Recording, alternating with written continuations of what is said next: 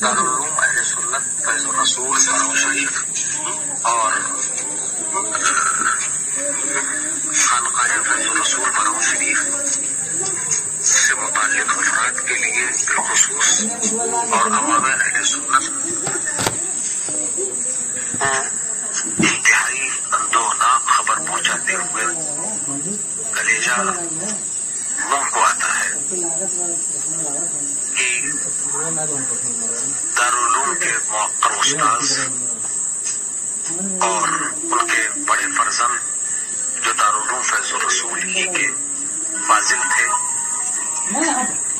ان دونوں حضرات کا آج صبح کسی مذہبی جلسے سے واپسی پر براؤ شریف سے تین چار کلو میٹر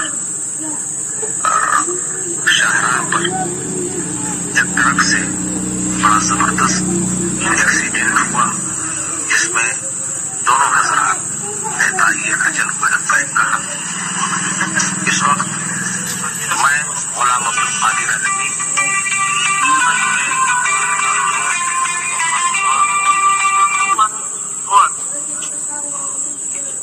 اساتذہ فیض الرسول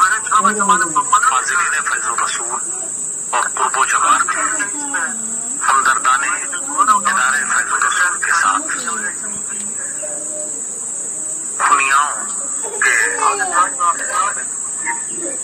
ہاسپٹل میں جہاں ان دونوں حضرات کی لاش ہے پولیس کے اہلکاروں کے ساتھ اور ہاسپٹل کے ذمہ داروں کے ساتھ قانونی کارروائی کی تکمیل میں ہم سب مصروف ہیں۔